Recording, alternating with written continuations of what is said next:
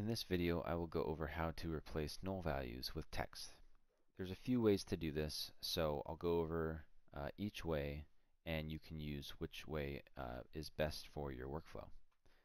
So we have a text input with four columns uh, with a bunch of blanks.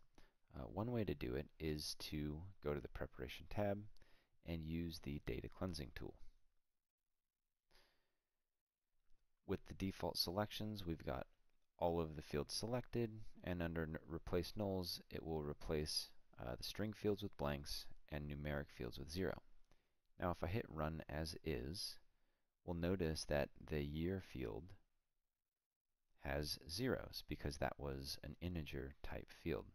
So if you want blank for everything, what we can do is we can add in a select tool before, change the year to a v-string, and run one more time.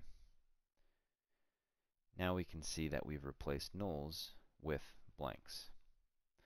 However, let's say you want to replace with some other text string. What we can do in that instance is use this multi-field formula tool. This will apply a formula across multiple fields. Any or all that you choose you want to apply this logic to. What we can do is we can say select uh, we want to do, in this case, all types of fields, and we'll select everything. I do not want to copy the output fields, um, but I do want to change the output to vstring, and I want to make the size a little bit larger just in case. And now the expression here is going to be if our current field is equal to null, then no value. Else, give me back the current field. And if. And when I run this, we'll see that we have replaced the nulls with a specific type of string.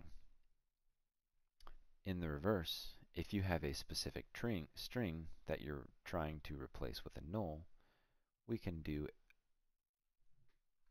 opposite of what we've just done.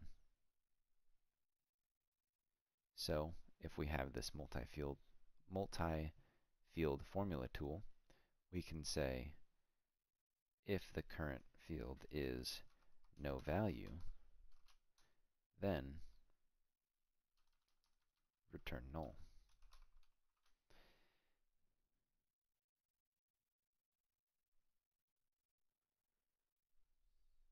So you might want to use this in the event you have many columns with a uh, filler for no value, and that filler might not be beneficial in your workflow, and you just want to make them null, you can use this formula. And this is a few ways on how we can take nulls and fill it with a specific value.